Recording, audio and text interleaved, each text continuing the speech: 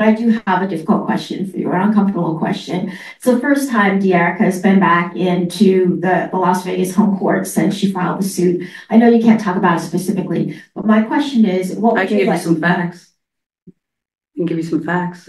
Want some facts? I do want facts, and I also would like to know, what would you like to tell people about your integrity as a coach and the integrity of the organization you work for?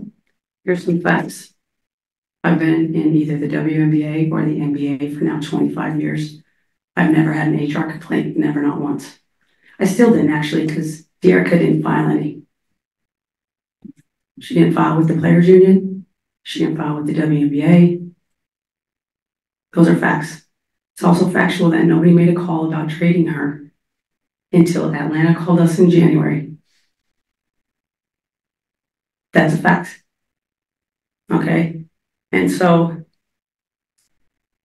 to me, I mean, um, there's it just didn't happen. I'm sorry, the bullying. I spoke with her every day. If she wanted to practice, she practiced. If she didn't, she didn't. Over the top care, actually. Over the top care. That's the facts.